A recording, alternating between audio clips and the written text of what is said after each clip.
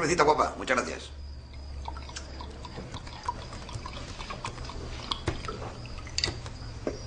Os acabéis las consumiciones y os vais pirando, ¿eh? Tú no tomas nada. No, gracias. Dejé de beber el día que me metí detrás de esta barra.